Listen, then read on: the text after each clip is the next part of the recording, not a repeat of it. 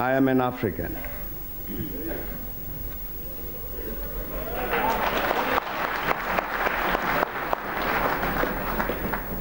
I owe my being to the hills and the valleys, the mountains and the glades, the rivers, the deserts, the trees, the flowers, the seas, and the ever changing seasons that define the face of our native land.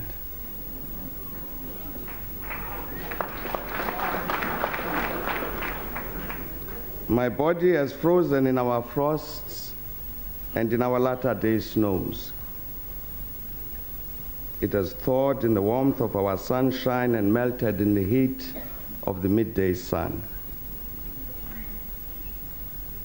The crack and the rumble of the summer thunders, lashed by startling lightning, have been a cause both of trembling and of hope.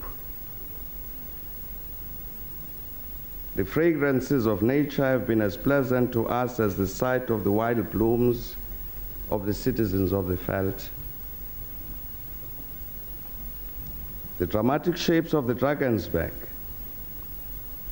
the soil-colored waters of the Lekwa, Igqili, Nothukela,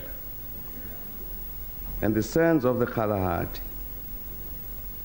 have all been panels of the set on the natural stage on which we act out the foolish deeds of the theater of the day. At times, and in fear, I have wondered whether I should concede equal citizenship of our country to the leopard and the lion,